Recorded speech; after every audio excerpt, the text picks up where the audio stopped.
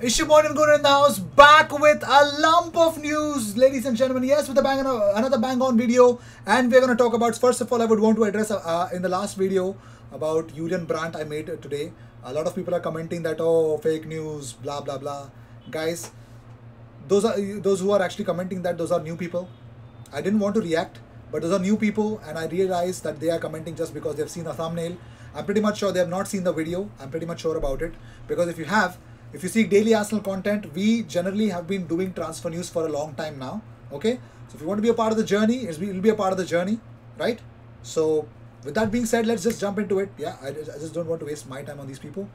But here's about David Luiz. Well, according to Mirror Sport, David Luiz, who has also fallen from first team favor, will be allowed to exit in the summer when his own big money contract expires. Yes, David Luiz is leaving in the summer only Sad news, isn't it? But Rio Ferdinand has opened up about Pierre-Emerick Aubameyang. He says um, the biggest thing Arteta uh, needs to do right now is to get him playing again. He's got all these young, exciting prospects. You just want Aubameyang there around doing his stuff as well. What is the problem with Aubameyang? How has he gone from being one of the most potent strikers in the Premier League, if not in Europe, to what he's doing now? How's that happened? It's not the Aubameyang I know. I don't know how Arsenal fans are defending him. That is the biggest thing for Mikel Arteta. The biggest thing Arteta needs to do right now is to get him playing again. So let's see how exactly Aubameyang moves on. Well, moving on, according to Bayern and Germany, they say, according to Bild actually, Bayern Munich's interest in Julian Brandt has cooled significantly. The club kept an eye on Brandt, but his performances were deemed not consistent enough Plus, the player is missing the Mia San Mia mentality.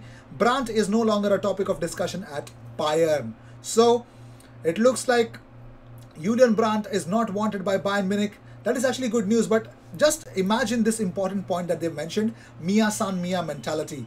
That kind of mentality I would want of a player that Arsenal should also look at at the moment. So, if Julian Brandt does not have that mentality, that's okay. I don't think so. We would want him right now. But moving on, well, Arsenal have attempted 167. I've already mentioned it. I'm sorry. Uh, let let's let's move on. According to Stuart MacFarlane, actually posted this image. So throwback Arsenal.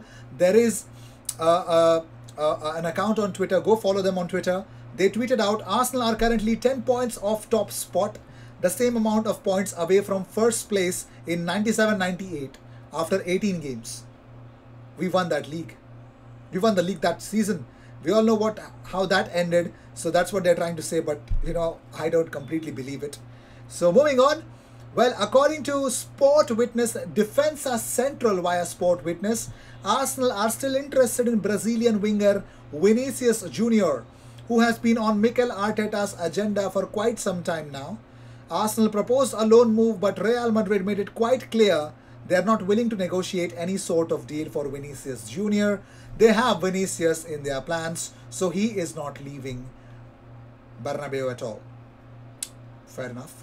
Also, according to a source called Confidential, while Arsenal make a move for ex-Saint Etienne goalkeeper Stéphane Ruffier on a free to provide backup to Leno, Mikel went with Runarsson due to financial constraints. However, Alex hasn't impressed, so he's set to move on loan for the rest of the season. So it looks like Alex Runarsson might move on loan to other club and Stéphane Ruffier is definitely going to be signed up according to a source. Okay, you don't have to 100% believe me.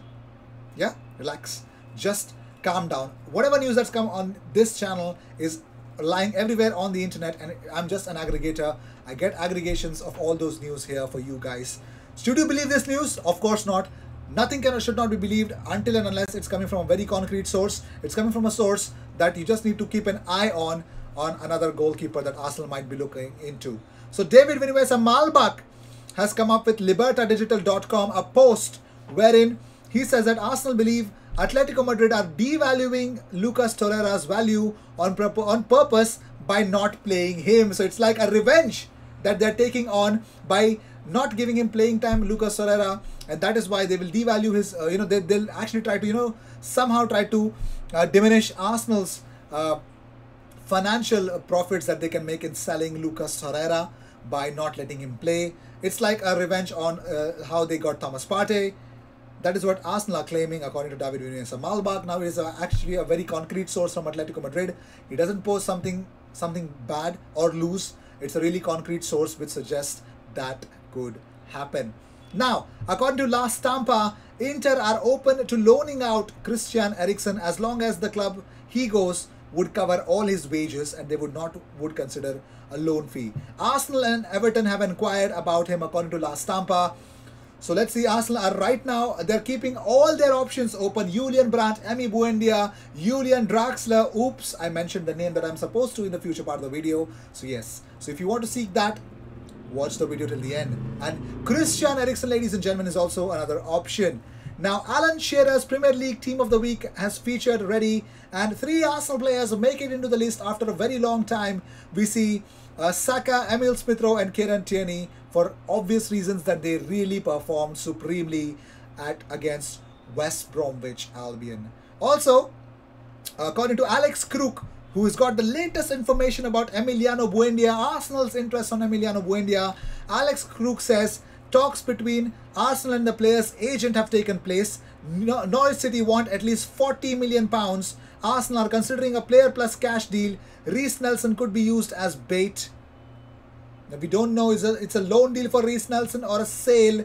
We don't know about it. So let's see what happens. 40 million is a little too high for Emiliano Buendia. He's definitely worth every penny, but it's it's it's really high. But if you ask me, Reiss Nelson as a bait is a bad idea. Joe Willock on a loan would make sense, but Reiss Nelson is a bad bait. Well, Wesley Fofana says his friend William Saliba is finally free from Arsenal after joining OGC Nice on loan. So Wesley Fofana says William Saliba can breathe now. He was really suffocated at Arsenal. I agree to that. I really do. But moving on, well, Charles Watts tweets out latest figures from the Premier League from the last two rounds of the COVID testing. The 28 positives from December 28 to 31st is the largest number of positives in a single round of testing by some distance. Previous highest was 18 from December 21st to 27 and 16 from November 9th to November 15th. So 28 positive. Oh my god, that is really, really, my god, that is really bad. Really bad. Well, moving on. Well, according to Journo Dan, Arsenal are keeping uh, are keen on signing Red Bull Salzburg striker Patson Daka as a long-term replacement for Alexandre Lacazette. Well, uh, Daka's representative are keen to secure a Premier League move for their client and Arsenal could face stiff competition for his signature with Liverpool, Man City and Tottenham who are also eyeing the striker. Salzburg are believed to have slapped 20 million pound price tag on the 22 year old. So 20 million pound uh, is the price tag on Patson Daka. Let me know in the comments, do you really want Patson Daka to Arsenal? Well, his representatives are definitely keen to get a better deal for his for their client and Patson Daka to Arsenal might happen, but it is definitely going to be a fight against the big wigs of the Premier League. Well, Tom Kershaw tweets out, spoke to Emi Buendia in November. He loves Norwich but would of course like to join a big club and is aware of Arsenal's interest. Buendia is aware of Arsenal's interest. Uh, it was good to hear the links with those Premier League teams because any player wants to be at the highest level. So Buendia says we try to play beautiful football. So Buendia will definitely love to come to Arsenal. Let's see if it can be materialized or not. So, Julian Draxler, ladies and gentlemen, well, according to France Football, Arsenal are interested in signing PSG attacking midfielder Julian Draxler. They face competition from Hertha Berlin and Leverkusen. The German international's contract expires at the end of the season. He is not in Mauricio Pochettino's plans. So, Julian Draxler can definitely, definitely look out for another club and Arsenal are interested and so are other clubs as well. Hertha Berlin and Leverkusen, the Bundesliga clubs would want to bring him back to Bundesliga. Let's see where his future is at the moment. The problem is he went to Paris Saint-Germain, his wages would be sky high. I don't know if Arsenal are willing to go for that high wages, but looking what they offered to Thomas Partey shouldn't be, should not be impossible. Well, moving on.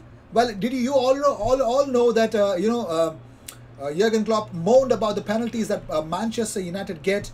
But did you know, since the beginning of 1992-1993, the penalties scored in the Premier League, 130 for Liverpool, 124 for Chelsea, 120 for United, 113 for Arsenal. I don't know what he's moaning about. Whenever he loses, He's definitely salty whenever he loses. I know that. So, with this, we end this episode. I hope you enjoyed whatever came your way. All the views and news and everything about Arsenal comes on this platform every single day, twice.